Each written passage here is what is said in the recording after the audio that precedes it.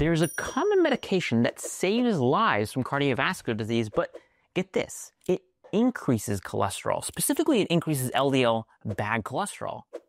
Isn't that paradoxical? Well, in a landmark 2015 trial published in the New England Journal of Medicine, SGLT2 inhibitor medications reduced cardiovascular death by 38%, that was the relative risk reduction, and lowered all cause mortality, all death. But if you dig into the supplementary appendix, figure S3 in section P at the end, you'll find a buried detail. LDL increase in the SGLT2 inhibitor treatment group. This is actually a known effect of these medications. The rise wasn't big, but it was actually larger than what's seen in other studies where LDL is blamed for increased heart disease risk. And you can see the associated long form content for more on that.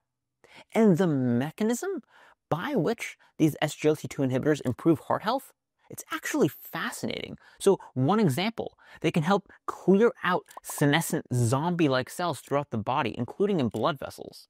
My point isn't that LDL or ApoB don't matter. It's that the narrative we're often sold that they're the primary drivers or ultimate measures of cardiovascular risk is not just oversimplified, it's harmful. When we look at health through a keyhole, people suffer around us.